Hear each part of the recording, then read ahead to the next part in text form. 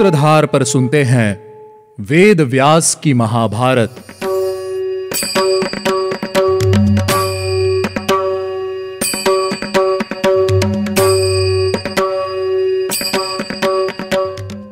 Hello listeners स्वागत है आपका सूत्रधार प्रस्तुति वेद व्यास की महाभारत में। मैं हूँ आपके साथ आपकी सूत्रधार मान्या शर्मा। वेद व्यास की महाभारत में आप सुनते हैं गीता प्रेस गोरखपुर द्वारा प्रकाशित महाभारत कथा। मुझे उम्मीद है कि आप सभी को हमारे एपिसोड सुनने में उतना ही आनंद आ रहा होगा, जितना आनंद हमें इन्हें आपके लिए बनाने में आता है। आज हम शुरुआत करेंगे हमारे फिफ्थ एपिसोड की।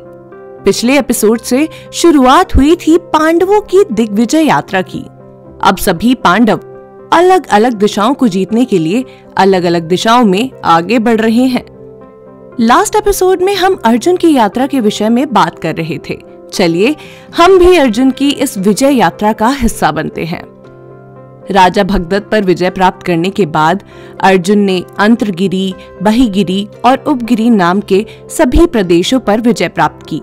फिर सभी पर्वतों और वहाँ निवास करने वाले सभी राजाओं को अपने अधीन करके अर्जुन ने उन सभी से कर वसूल किया। उन सभी राजाओं को प्रसन्न करके अर्जुन ने उनके साथ उल्लुकवासी राजा ब्रहंत पर आक्रमण किया। अर्जुन अपने दिव्य रथ पर विजयी होते हुए पृथ्वी को कपकपाते हुए तेज के साथ आगे बढ़ते जा रहे थे। उनको आता देख राजा ब्रहंत तुरंत ही चंतुर्गिणी सेना के साथ नगर के बाहर निकले और अर्जुन से युद्ध करने लगे। उन दोनों के बीच भीषण युद्ध आरंभ हुआ।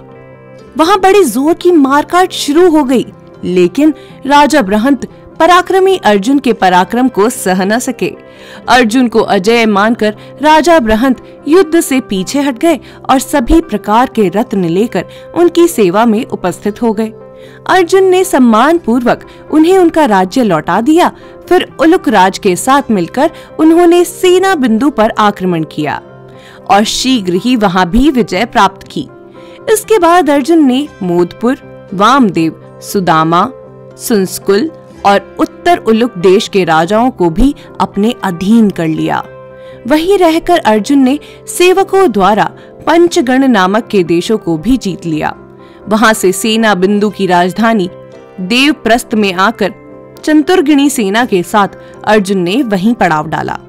उन सभी पराजित राजाओं से घिरे हुए अर्जुन ने पौरव राजा विश्वगश्व पर आक्रमण किया। वहाँ संग्राम में शूरवीर महारथियों को परास्त करके अर्जुन ने पौरव द्वारा सुरक्षित उनकी राजधानी को भी सेना द्वारा जीत लिया। पौरवों से युद्ध में जीतकर अर्जुन ने पर्वत निवासी लुटेरों के सात दलों पर विजय प्राप्त की। वे दल उत्सव संकेत के नाम से जाने जाते थे। अब अर्जुन ने कश्मीर के क्षत्रिय और दस मंडलों के साथ साथ राजा लोहित को भी जीत लिया। त्रिग्रथ, द्राव और कोकनत आदि बहुत से क्षत्रिय नरेश सब और से अर्जुन की शरण में आए। इसके बाद अर्जुन ने अभिसारी नगरी पर विजय प्राप्त की और उर्गावासी राजा रोचमान को भी युद्ध में परास्त किया। अब अर्जुन ने राजा चित्रा युद्ध के द्वारा सुरक्षित सुरमय नगर सिंहपुर पर सेना लेकर आक्रमण किया और उसे भी युद्ध में जीत लिया। इसके बाद अर्जुन ने अपनी सारी सेना साथ लेकर सुहम और चौल देश की सेनाओं को भी युद्ध में रौंद डाला। बड़ी भारी मारकाट मचाकर दुर्धृषवीर बहिलकोम को वश में किया। इसी प्रकार उन्होंने कम्बोजों के साथ मिलकर दंडों को भी जीत लिया। ईशान कोण का आश्रय लेकर जो लुटेरे और डाकू वन में निवास किया करते थे, उन सबको भी अर्जुन ने अपने अधीन कर लिया। लोह, परम काम्बोज, ऋषिक और उत्तर देशों को भी अर्जुन ने एक साथ जीत लिया। ऋषिक देश में भी ऋषिक राज और अर्जुन के बीच बहुत बड़ा संग्राम हुआ। अर्जुन ने ऋषंकों को हराकर उनसे तोते के ऊदर के समान हरे रंग वाले आठ घोड़े भेंट में लिए। इसके बाद अर्जुन संग्राम में हिमवान और निष्कुट प्रदेश के अधिपतियों को जीतकर धवलगिरी आए और वहीं सेना के साथ अगला पड़ाव डाला। अब अर्जुन धवलगिरी को लांघकर द्रुम पुत्र के द्वारा सुरक्षित किम पुरुष देश में गए। वह देश किन्नरों का निवास स्थान था। वहाँ भी अर्जुन को विजय प्राप्त हुई और कर देते रहने की शर्त पर अर्जुन ने उन्हें सम्मान पूर्वक उनका राज्य वापस लौटा दिया। अब अर्जुन ने गुहंकों द्वारा सुरक्षित हाटक देश पर हमला किया और उन गुहंकों को साम नीति से समझा बुझाकर ही वश में कर लेने के पश्चात वे मान सरोवर पर गए। वहाँ उन्होंने समस्त ऋषियों के नाम से प्रसिद्ध जल स्रोतों के दर्शन किए। मानसरोवर पहुंचकर अर्जुन ने हाटक देश के निकट रहने वाले गंधर्वों द्वारा सुरक्षित प्रदेश पर भी अधिकार प्राप्त कर लिया और वहाँ उन्हें कर के रूप में तितर, कलमाश और मंडुक नाम वाले बहुत से उत्तम घोड़े प्राप्त हुए, जिसके बाद अर्जुन ने हेमकुट पर्वत पर जाकर पड़ाव डाला। फिर हेमकुट को भी लांग कर वे अपनी विशाल सेना के साथ हरिवृष जा पहुँचे। वहाँ उन्होंने बहुत से मनोरम नगर, सुंदर वन और निर्मल जल से भरी हुई नदियाँ देखी। उस नगर के पुरुष देवताओं के समान तेजस्वी थे। स्त्रियाँ भी परम सुंदरी थी। उन सब के दर्शन करके अर्जुन को बहुत प्रसन्नता हुई। उन्होंने हरिवर्ष को अपने अधीन कर लिया और वहाँ से कर के रूप में बहुत सारे रत्न प्राप्त किए। इसके बाद निषद पर्वत पर जाकर अर्जुन ने वहाँ के निवासियों को पराजित किया। फिर निषद पर्वत को लांग कर अर्जुन ईलाव्रत वर्ष में पहुँचे, जो जम्बू द्वीप के मध्य का भूभाग था। वहाँ अर्जुन ने देवताओं जैसे दिखाई देने वाले दिव्य पुरुष देखे। वे सब के सब अत्यंत सौभाग्यशाली और अद्भुत थे। उससे पहले अर्जुन ने कभी भी वैसे दिव्य पुरुष नहीं देखे थे। वहाँ के भवन अत्यंत उज्जवल और भव्य थे। नारियाँ अप्सराओं के समान प्रतीत होती थी। उस देश के निवासियों को भी अर्जुन ने युद्ध में जीत लिया। फिर उन्हीं को वहाँ के राज्य पर प्रतिष्ठित कर अर्जुन उत्तर में और आगे बढ़ गए। आगे जाकर उन्हें पर्वतों के स्वामी गिरी प्रवर महामेरु के दर्शन हुए। उसमें चार प्रकार के रंग दिखाई पड़ते थे। वहाँ तक पहुँचना किसी के लिए भी अत्यंत कठिन था। उसकी लंबाई एक लाख योजन है। वह दिव्य पर्वत देवताओं तथा गंधर्वों से सुरक्षित है। सिद्ध और चारण भी वहाँ नित्य निवास करते हैं। उस पर्वत पर सदा फल और फूलों की बहुताय रहती है। उसकी ऊंचाई को कोई माप नहीं सकता। अधर्मी मनुष्य उस पर्वत को स्पर्श तक नहीं कर सकता। अब अर्जुन जम्बू नदी के तट पर गए। अर्जुन ने उन्हें भी युद्ध में जीतकर उनसे कर वसूल किया। वहाँ से पश्चिम जाकर अर्जुन गंधमादन पर्वत पर पहुँच गए और वहाँ के रहने वालों को जीतकर अपने अधीन कर लिया। इस प्रकार गंधमादन पर्वत को लांघकर अर्जुन रत्नों से संपन्न केतुमाल वर्ष में गए। उस वर्ष को जीतकर अर्जुन ने वहाँ से दुर्लभ रत्न प्राप्त किए और वे दोबारा मध्यव्रती ईला व्रत वर्ष में लौट आए। अर्जुन ने पूर्व दिशा में प्रस्थान किया। मेरू और मद्राचल के बीच शौलौदा नदी के दोनों तटों पर, जो लोग कीचक और वेणु नाम से बांसों की रमणीय छाया में आश्रय लेकर रहते हैं, वहाँ खश, ईश, प्रहस, दीर्घवेणिक, पशुप, तंगण तथा परतंगण आदि जातियों को हराकर उनसे रत्नों की भेंट लेकर अर्जुन माल्यवान पर्वत को लांघकर उन्होंने पांडु भद्राश्रवर्ष में प्रवेश किया, जो स्वर्ग के समान सुंदर था। वहाँ से भी असंख्य रत्नों का संग्रह करते हुए अर्जुन ने नीलगिरी की ओर यात्रा करके वहाँ के निवासियों को पराजित किया। अब विशाल नीलगिरी को भी लांघकर असुर नर नारियों से भरे हुए रम्यक वर्ष में उन्होंने प्रवेश किया।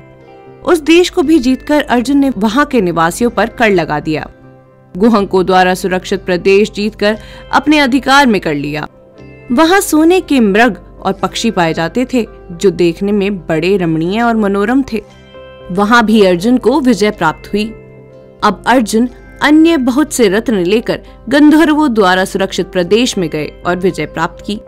उन्होंने श्वेत पर्वत पर जाकर वहाँ के निवासियों को जीता। फिर उस पर्वत को लांघकर अर्जुन ने हिरण्यक वर्ष में प्रवेश किया। वहाँ पहुंचकर वे उस देश के रमणीय प्रदेशों में विचरने लगे।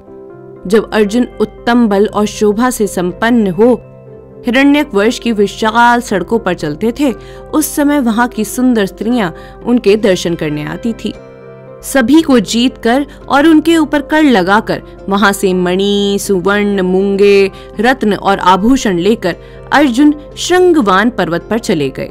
वहाँ से आगे बढ़कर अर्जुन ने उत्तर कुरु वर्ष में पहुंचकर उस देश को जीतने का विचार किया। इतने में ही अर्जुन के पास बहुत से विशाल काय महाबली द्वारपाल आ पहुँचे और प्रसन्नता पूर्वक बोले, पार्थ, इस नगर को तुम किसी तरह जीत नहीं सकते। कल्याण स्वरूप अर्जुन, यहाँ से लौट जाओ। तुम यहाँ तक आ गए, यही बहुत बड़ी बात है। जो मनुष्य इस नगर में प्रवेश करता है, निश्चय ही उसकी मृत्यु हो जाती है। वीर, हम तुमसे बहुत प्रसन्न हैं। यहाँ तक आ पहुँचना ही तुम्हारी बहुत बड़ी विजय है। अर्जुन, यहाँ कोई जीतने योग्य वस्तु नहीं है। यह उत्तर कुरुदेश है। यहाँ युद्ध नहीं किया जाता है। इस नगर के भीतर प्रवेश करके भी तुम यहाँ कुछ देख नहीं सकोगे, क्योंकि मानव शरीर से यहाँ की कोई भी वस्तु देखी नहीं जा सकती। यदि यहाँ तुम युद्ध के सिवा और कोई काम करना चाहते हो तो बताओ। तुम्हारे कहने से हम स्वयं ही उस कार्य को पूर्ण कर देंगे। तब अर्जुन ने उनसे हँसते हुए कहा, मैं अपने भाई धर्मराज युधिष्ठिर को समस्त भूमंडल का एकमात्र चक्रवर्ती सम्राट बनाना चाहता हूँ। आप लोगों का देश यदि मनुष्यों के विपरीत पड़ता है तो मैं इसमें प्रवेश नहीं करूँगा। महाराज युधिष्ठिर के लिए कर के रूप में कुछ धन दीजिए।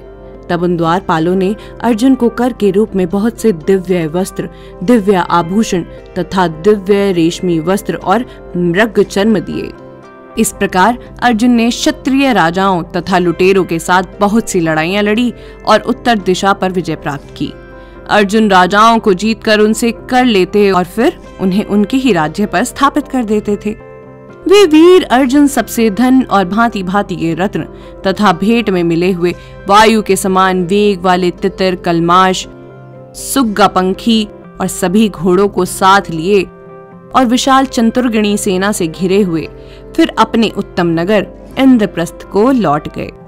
वहाँ पहुंचकर अर्जुन ने घोड़ों सहित वह सारा धन धर्मराज को सौंप दिया और उनकी आज्ञा लेकर वे महल में चले गए। तो ये थी अर्जुन की दिग्विजय यात्रा। अगले एपिसोड में हम सुनेंगे भीम और नकुल की दिग्विजय यात्रा।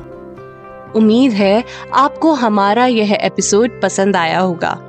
अगर आप इस एपिसोड से रिलेटेड कोई भी सवाल पूछना चाहते हैं तो हमारे social media platform Twitter Facebook Instagram पर हमसे संपर्क कर सकते हैं। हमारा सोशल मीडिया हैंडल है माय सूत्रधार साथ ही साथ, ऐसी ही अनेक रोचक पौराणिक कथाओं के वीडियो देखने के लिए आप डाउनलोड कर सकते हैं हमारी सूत्रधार ऐप हमारी ऐप एंड्रॉइड और आईओएस दोनों यूज़र्स के लिए उपलब्ध है। यहाँ आपको हर एक कहानी, सुंदर चित्रण और सटीक फैक्ट्स के साथ मिलेगी। इसके अलावा आप श्री राम कथा मिनी टेल्स पॉडकास्ट हिंदी और इंग्लिश नल दमयंती प्रेम कथा, हिंदी इंग्लिश तथा ऐसी ही अनेक कहानियाँ अपने मन पसंद ऑडियो प्लेटफॉर्म पर सुन सकते हैं। लिंक आपको डिस्क्रिप्शन में मिल जाएगा। मैं आपकी सूत्रधार मान्या शर्मा, मिलूँगी आपसे अगले एपिसोड में। याद रखिएगा हम हर सोमवार और शुक्रवार आपसे मिलते रहेंगे।